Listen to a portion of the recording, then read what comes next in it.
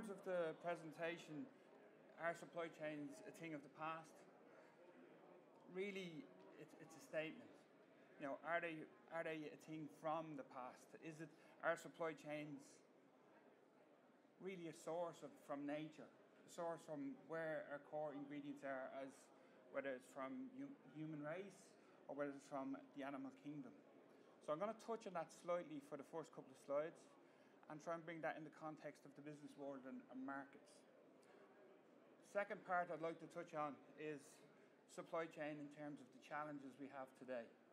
What type of uh, what are, what are we dealing with in terms of the marketplace as it stands? And the last piece is the future, short term, long term view of supply chain. Now, I should say, from my point of view, I'm lecturing, but I'm also uh, working in the cosmetic industry. And for me, I have no interest in the cosmetic industry. I don't have any major knowledge or skill in terms of cosmetics, but I understand supply chain. So that's what you bring to the whole kind of relationship between business world and what we do. So that's that piece. Simple slide. Ants. What have they got to do with supply chain? Well, what we can learn from ants, they've been around 100 million years. They were farmers 50 million years before we were. They tended, they herded. They formed super colonies. They can move objects 50 times their size from one, in terms of their body weight and they're army like and defensive in terms of territory. Could be human. Could be something that we relate to. When we look at the relationship between ants and humans are in terms of their, their, their makeup. A couple of facts in terms of ants I'd just like to highlight. They're very well organised. Uh, they've strong, very strong levels of communication. They utilise their capacity to its total. They're able to handle large volume of material from A to B. Finally, they have commitment. When they start the job, they don't finish. So when you put that in the context of supply chain and bringing it back to the business world, they're the very essence and core elements of supply chain that we need to be bringing forward. So what we borrow from ants or animals like that in this situation is they're not they don't limit what they do to their size. So they're, they're looking out far beyond, uh, or not necessarily looking, but certainly they're, they're prepared to manage far beyond their world and their capacity and size. They, they're teamwork elements. Sum of the parts are greater than the individual. They plan ahead. They stock up for a rainy day. So in terms of supply chain, how we manage our supply in our markets, we look at that. Uh, they complete a job before stopping they're, they're organised in terms of how they do things. They communicate with each other and they've scalable solutions and they use their own technology to its fullest. They're all elements that are existing millions of years before we did and they're all part and parcel of a supply chain. If you look at the common where we are today within the supply chain, it's all about the balance, the balance between uh, the different organizations the pulling between the different procurement organisations, the manufacturing organisations, what priorities we have, uh, who's who's got the, the fo- where the strategy of the company is and who's got the focus. This is something that should be an inward and an outward uh, looking statement.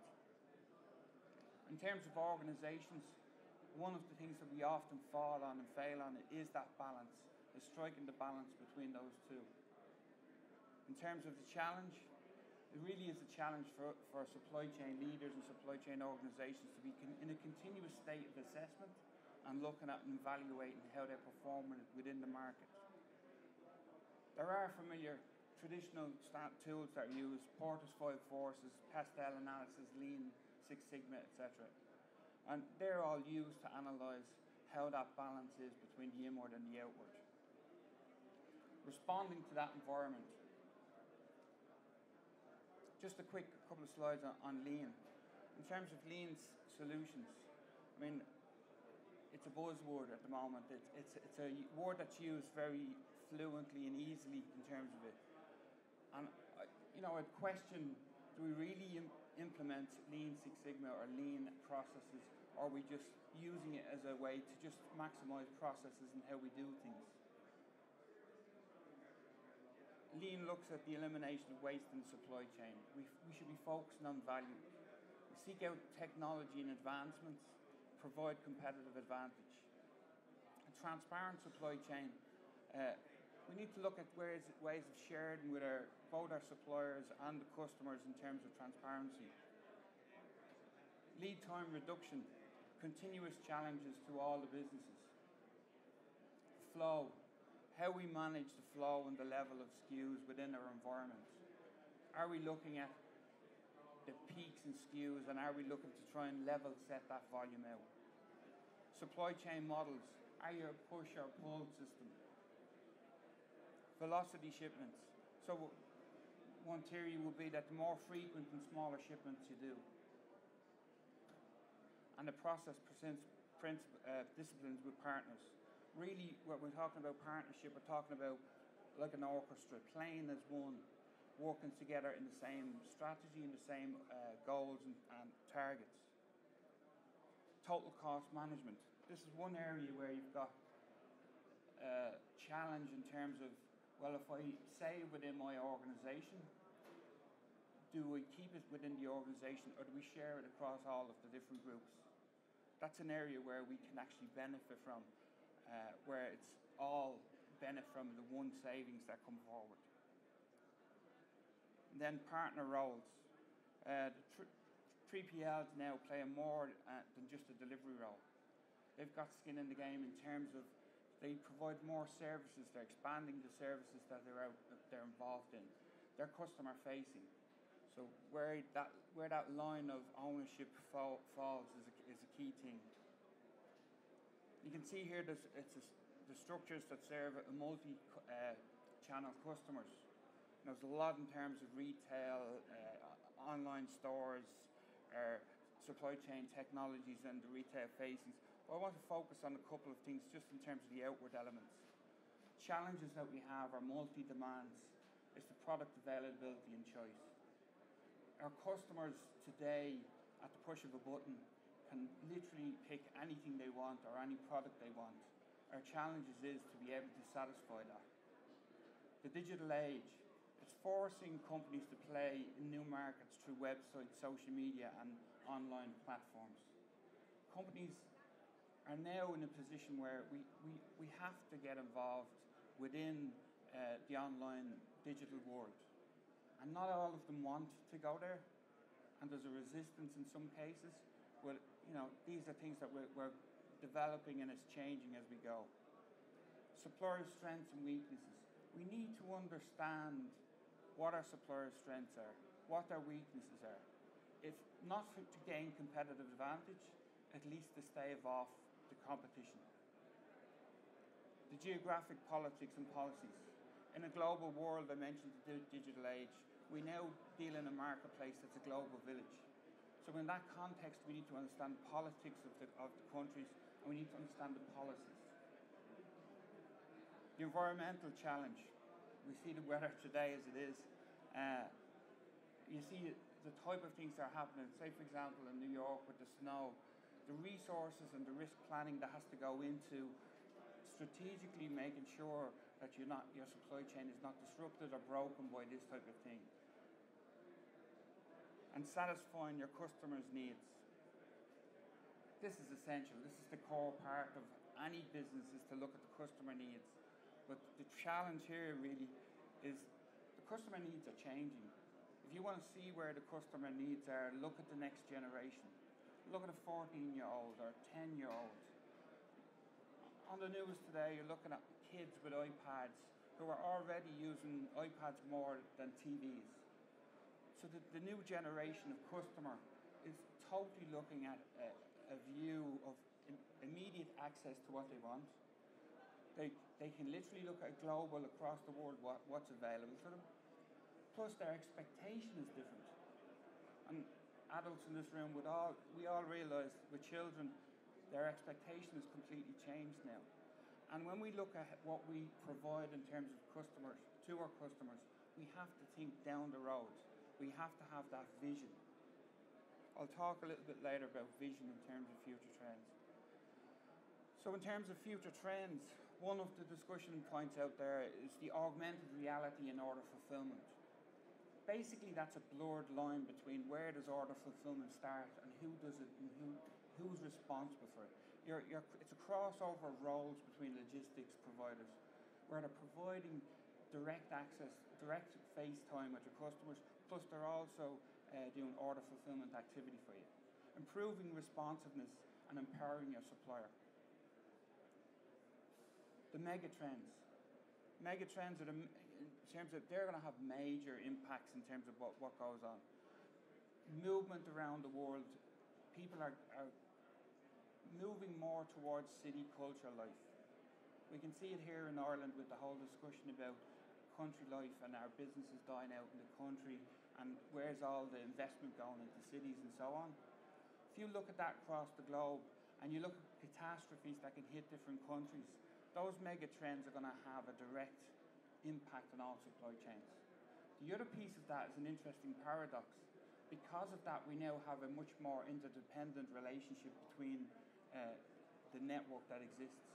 So if you're talking about moving food, or if you're talking about moving goods into a city, it's that relationship inside the city in terms of delivery, in terms of how we communicate and what we offer our customers. Integration via the internet, as I mentioned earlier, fingertip shoppers, immediate payment. There are two sides to that. The concern and the, the, the risk here is the fingertip shopping, you can go anywhere. You have the power to, to choose where you want to go. The plus side of that is that you get immediate payment. So there's a nice opposite to that same coin. Sustainability. The demand for environmental friendly solutions, uh, regulations, constantly coming up to this now. Um, the demand is more about the fact that customers are expecting to have long-term solutions, eco-friendly solutions. We don't want looking at the waste elements of how we manufacture and how we do our business the regulations is from a government point of view more and more whether it's in the health sector or whether it's in the food sector it's regulations to make sure that everything is done according to standards you look at transparency from sources of, of meat of where they come from what, what the animals are fed with you can look back through that and that's the element of uh, supply chain that we also have to look backwards as well as forwards partnerships more collaborations in the supply chain design.